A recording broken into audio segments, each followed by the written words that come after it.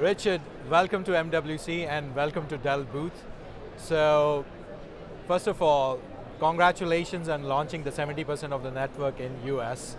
And uh, the first question I have for you is, what would you say your top three challenges were during that 70% deployment phase? Yeah. So uh, a year ago we, we were here in February and uh, our 70% milestone was in line of sight and, and a lot happened in, in the last months of, of, of last year.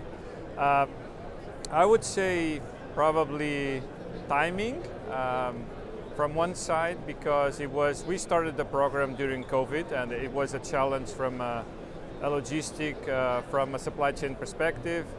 I would say time uh, because we were on the clock to achieve certain deadlines, so we had a limited amount of time to bring uh, coverage to the to the population, and uh, uh we have done more than 16,000 sites for the 70%. So uh, it was uh, certainly a, a, race against the clock. And finally, um, I would say. Um, we, we realized soon that we needed to act as a system integrator uh, in the entire ecosystem, and that brought some challenges. Uh, challenges uh, on how to convert that mindset into the organization and uh, be able to work with all our vendors in this ecosystem to make it to make it happen. So uh, that was probably the biggest challenge of all. Yeah, good one. So you know, most of Dish's deployment was during the COVID phase, right? Yeah. And uh, anyone who was doing the deployment the hardware and services are the key from a supply chain perspective and then also deployment. So how do you think Dell was instrumental in helping it out from a supply chain or from a deployment perspective? Yeah, I mean Dell was, was critical for us. Um, um, Dell was able to uh, bring the capacity uh, that we needed. Um, we all had to adapt during COVID. O-RAN projects have an advantage because it, can actually disaggregate the hardware from the software. You, you can purchase those at the same time and on the hardware side you can go component by component. So uh, uh, from that point of view there's an advantage. Um, but having partners like Dell that have a powerful supply chain organization that is able to have critical relationships like for instance with Intel um, definitely uh, was a game changer. You guys were, were, were able to fulfill our requirements and um, we fortunately uh, were able to complete the milestones also because of that. Yeah, thanks. And uh, how do you think during the COVID times, because your, your timeline was very strict, yeah. right? You guys had very short timeline and had to achieve a lot of many sites and yeah. there was a FCC um, penalties if you guys don't achieve that. Right. So how did the factory integration and those integration new stuff what you guys did, how did that help you uh, yeah. during the deployment phase? So we, we have done a lot of pre-assembling and kitting, uh, part of it done inside Dell and part of it done in our manufacturing facilities in Spartanburg, South Carolina. We try to uh, get the, the, all the kit to the field on the most complete stage possible so that once you get to the field, you actually can do it fairly quickly.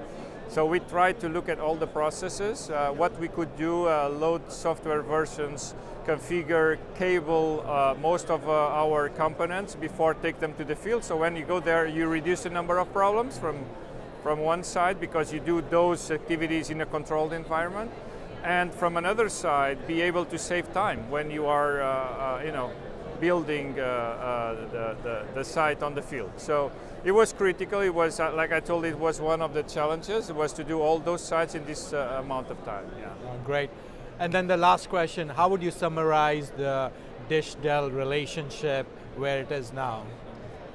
Well, we, we, we have a great relationship. Um, it's based first on trust. Um, um, we uh, took more from Dell than probably Dell has done before. Uh, Dell became a critical services provider for this.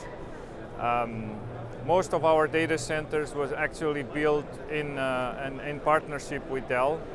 Um, and we are you know, looking forward to expand our cooperation into other areas, uh, integration of uh, other suppliers, uh, not only get uh, in the hardware area, but also on the service, expand our services collaboration. So um, we look forward. Uh, we are excited. So since we have launched the 70% uh, last year, uh, Dish has been uh, uh, focused on, on having a, a, commercial network that can offer to the customer a voice service. Currently, we offer voice over 5G for to more than 200 million people in the U.S. in areas where those people live.